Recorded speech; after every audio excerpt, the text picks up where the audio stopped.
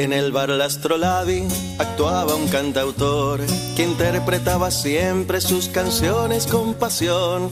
En su día aprendió el oficio de conjugar la música y las palabras con el arte del cantar.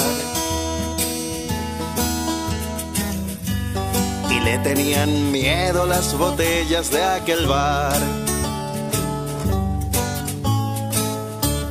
Pero un día de otoño se planteó seriamente la triste posibilidad de la muerte. Si nunca elegimos cómo vamos a vivir, por lo menos decidamos cómo queremos morir. Y esa idea desde entonces no le dejaba dormir. Un buen día decidió, luego de esa reflexión, provocarse una eutanasia componiendo una canción y combinando las sílabas adecuadamente, la tonada produciría el sonido de la muerte. Y cantando quedaría como un fiambre de repente A veces se tienen ganas de cantar una canción letal.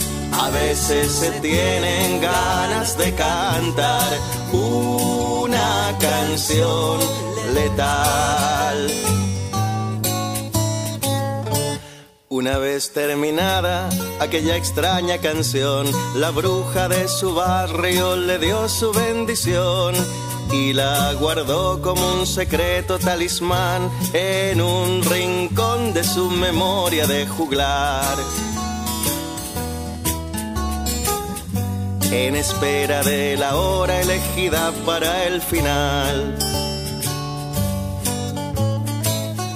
Cuando nuestro cantautor finalmente se hizo viejo y nadie daba nada por estar en su pellejo, ese día decidió que había llegado el momento y se vistió de gala para su último concierto.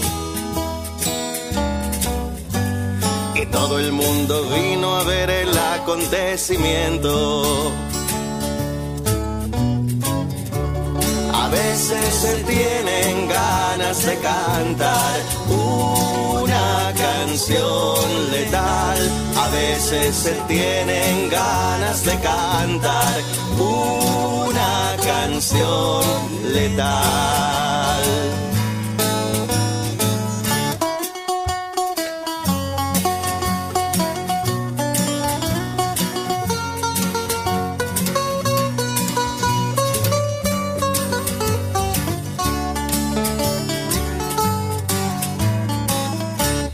Pero por desgracia, la bruja de su barrio no había actualizado su mágico diccionario y el efecto que produjo la fatídica canción fue algo que casi lo mató de la impresión.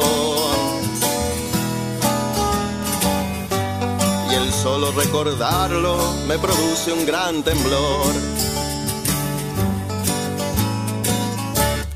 Había en el astrolabi un silencio sepulcral, no se escuchaba ni siquiera una mosca volar. Y su cuerpo de pronto se fue haciendo transparente mientras salían las palabras de su boca. Y de repente aquel viejo trovador desapareció para siempre. Se tienen ganas de cantar una canción letal. A veces se tienen ganas de cantar una canción letal. A veces se tienen ganas de cantar una canción letal. A veces se tienen ganas de cantar una canción letal.